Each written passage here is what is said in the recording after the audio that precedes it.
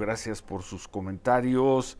Nos siguen preguntando, hay una declaración, hay una declaración de Lorenzo Córdoba sobre eh, la nueva presidenta del INE o quien asumirá pronto como nueva presidenta del INE, Guadalupe Tadei.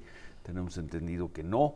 Nos quedamos con lo que dijo hace unos momentos aquí Luis Carlos Ugalde, ex presidente del INE, duro crítico del Plan B, duro crítico de muchas decisiones de este gobierno, del gobierno del presidente López Obrador, y él dijo que dentro de las opciones que había, Guadalupe Tadei era la mejor opción y que él piensa que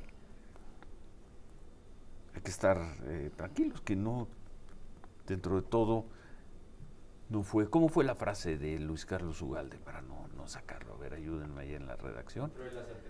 Dentro de las alternativas que había, Guadalupe Tadei es la mejor opción para ser presidenta del INE y luego dijo hay que darle el beneficio, hay que darle el beneficio de la duda. que tiene una trayectoria propia que va más allá de la cuarta Tiene una trayectoria propia. ¿Coincides con eso?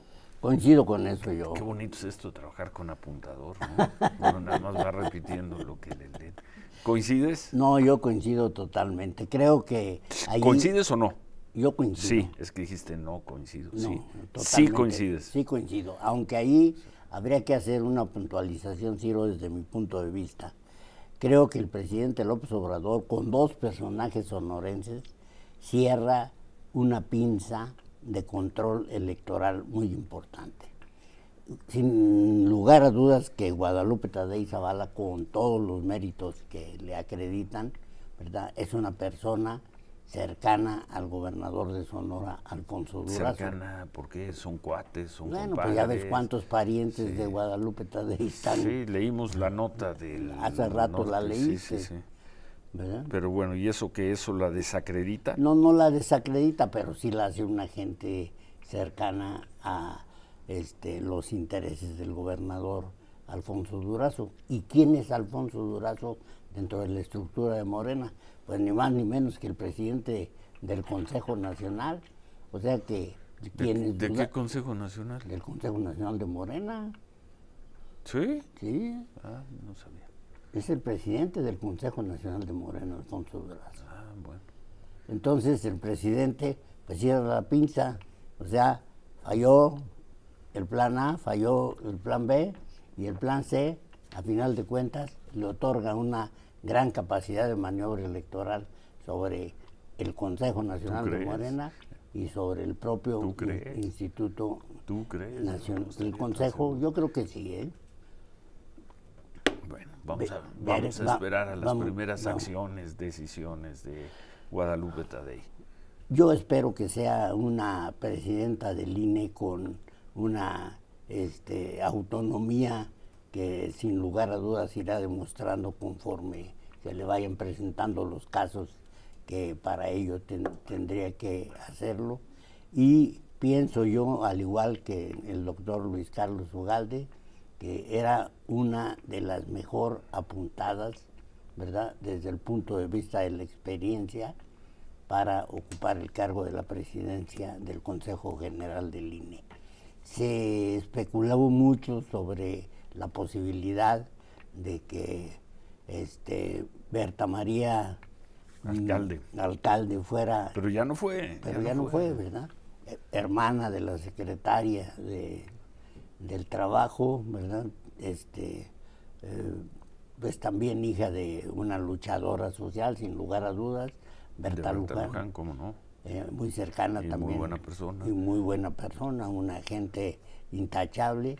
Y este, pero pues eh, esa razón de parentesco, este, Pero ya no fue, ya dejemos, dejemos en paz a la señora Berta María Luján. ya no fue, eh, llegaron dos María hombres. Alcalde, perdón, alcalde Luján. Dejaron, llegaron dos hombres que, fue una, para mí, ¿verdad? Este, una cuota muy equilibrada, Pues sí, ¿verdad? Dos, dos y dos. dos y dos, Pues sí. porque se, se presumía que iban a ser puras mujeres las nuevas. No, como que se presumía, ingeniero, si, si, No, pues se había iba a una meter a quin- una urna, si había hoy una quinteta que- durada, A esa sí, de ahí iba a salir una mujer, pero en las otras pues había la probabilidad que te daba el sorteo. Yo me esperé hasta que tú terminaste el noticiero y decías, bueno, ya falta una hora este, y tantos minutos para que empiece la insaculación. Tuve la oportunidad de platicar con el diputado Juan Ramiro Robledo, presidente de la Comisión de Puntos Constitucionales, y él me eh, comentaba, me externó el grado de dificultad que había para llegar a un acuerdo. No es cierto, te cotorrean, ingeniero. No, no me cotorrea. pero si, es que tú lo que platicabas, el presidente dijo nada, no, no somos como los de antes, nosotros no vamos a dar a dar consejeros por cuotas. El secretario de Gobernación lo dijo muchas veces, en corto, en largo, público, privado, es no vamos a repetir. Se lo dijo todavía el martes a Joaquín López Dóriga. Ya habían tomado la decisión de que fuera por la, entonces eso de que estaba muy difícil llegar a acuerdos, nunca hubo un trabajo, nunca hubo un trabajo para llegar a acuerdos en esta fase final. ¿Cuándo lo hubo? Bueno, nunca, sí hubo varios intentos. Ni uno, ni uno, ni uno. ¿En qué reunión, cuando menos se puso, se sometió a votación, a consideración? Nada, ingeniero, nada. Hubo un proceso difícil de revisar para sacar 20 finalistas. Y luego Morena la tenía muy clara de que Morena y sus aliados, de que la decisión final iba a ser por suerte. Así la quería el presidente, así la quería el secretario de Gobernación. ¿Y así salió? Y pues sí, y luego que no te eche rollo el... Pásele, compañero, que no te eche rollo el... ¿Cómo se llama? El... El diputado Juan Ramiro sí, que había muchas dificultades para sacar acuerdos. No, no había muchas, había todas que se resumían a una sola línea de la presidencia de la República y de la Secretaría de Gobernación. Tómbola. Tómbola. ¿Tú alguna vez jugaste a la tómbola? Sí, claro. en la escuela, Ciro, y nunca me gané nada. Pero tú no, nunca pasó por tu cabeza ser consejero de línea. No, bueno, tampoco. Además, con lo que escuché esta mañana, creo que me faltan como 30 años de trabajo electoral, ¿no? Porque todo el mundo está subrayando que qué bueno que vienen de ahí. Parece que es ahí donde se unieron las voces, ¿no? Bueno, ¿qué pasó ayer? Bueno, en una, en una práctica que, cada terminó vez... el optimismo de las autoridades de comunicaciones y transportes. Tuvimos una conferencia de prensa con Jorge Nuño, él es el secretario de Infraestructura, Comunicación y Transportes. Comentario al calce, una cosa rarísima, cada vez menos secretarios de Estado dan conferencias de prensa. Esta se tardó dos horas porque efectivamente hay que preguntarle absolutamente de todo, pero se destaca que este optimismo que dirigía o que iba dirigido a que íbamos a recuperar o la aviación de México iba a recuperar la categoría 1 en términos de seguridad aeronáutica hacia abril o mayo, pues no va a suceder. Y no va a suceder por el estancamiento legislativo. Es decir, lo único que falta, y lo dejó bien claro el secretario, todo está ya planchado, Ciro. Ya todo se cumplió. Todas las observaciones de la Autoridad Aeronáutica de Estados Unidos, que es quien le está haciendo el examen a la autoridad mexicana en esa materia, todo se cumplió. ¿Qué falta?